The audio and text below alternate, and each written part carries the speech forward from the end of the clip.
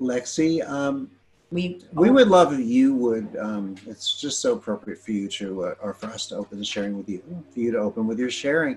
So um, we'd love to know what some of the changes are, some of the progress that you noticed when you first um, interacted with, touched, um, reconnective healing, this, these frequencies, this intelligence.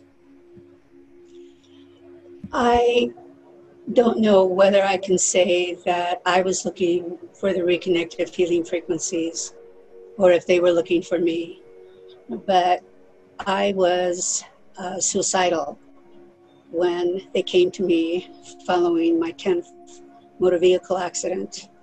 And it's when the online portal first came out that I was able to purchase that. And that's what I did was watch the portal every day for months. And I saw the effects of it because after three months, I was not feeling any suicidal ideations whatsoever. Mm. And since that time, I've held on and just stayed with it because it is such an incredible and amazing and loving gift. Thank you, Dr. Eric and Jillian.